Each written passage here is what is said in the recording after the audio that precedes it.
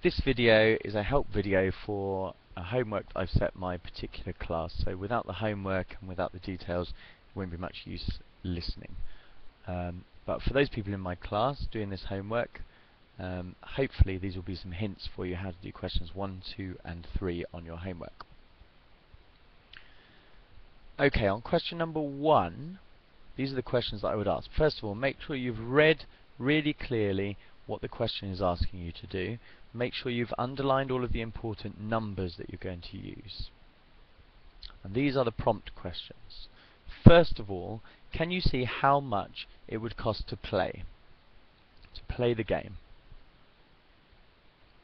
Write that down somewhere on your answer sheet. Can you see how many people are going to be playing the game or how many goes um, of the game are going to be had? Write that one down. Is there some way you can use your answers to these two? You should have got 30 pence and 200. If you've got 200 people each paying 30 pence, can you work out the total amount of money that has been paid? 200 people paying 30 pence.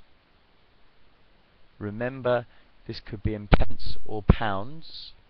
I don't mind, but your units need to be sort of coherent together. If you can do that, if you can work out the total amount of money, that's going to be one mark. Second of all, can you try to work out how many wins there would be in this game? Remember, this is the probability of winning, which I think is given to you. See if you can find that in the question. Multiplied by the number of goes. If you can do this formula, if you can multiply those two together, that's going to get you a second mark. Right, on to question number two. It's the same questions, really. How much does it cost to pay on question two? Sorry, to play on question two. Write that down now somewhere in the answer space. And how many people are playing this game? Write that down as well. Did you get one pound and 20 people? You should have been able to find those two numbers in the question. Again, can you find a way to work out the total amount of money that is being spent here? One pound each and 20 people. It's not going to be just one pound that the, the game is sort of taking in. Okay, it's 20, pa 20 pounds, I've given you the answer there. It's 20 people playing, paying one pound each.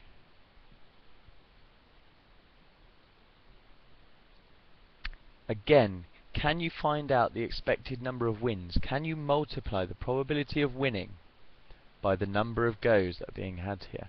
The probability of winning, you'll have to look at the spinner.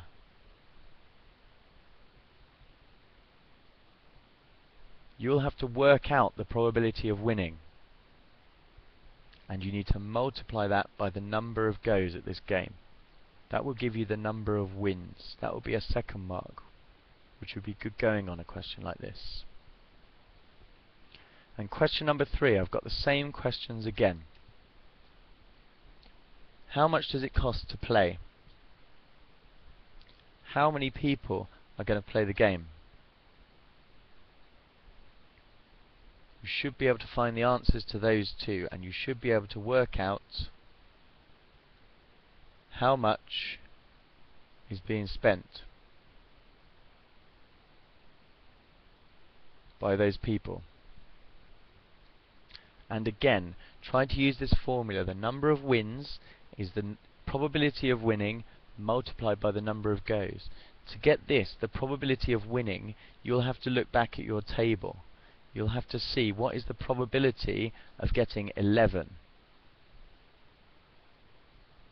You may also be able to look at your previous answer to part B, if you got that correct.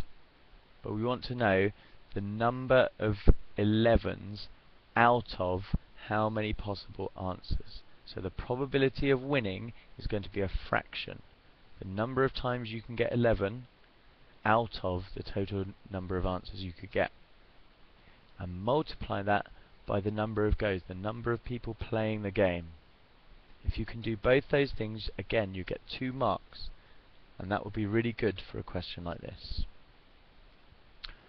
Okay, replay the video, answer the questions, pause it at each stage, sit here with your homework and actually do it as I go through those prompt questions. See if you can get some marks on these questions. Good luck.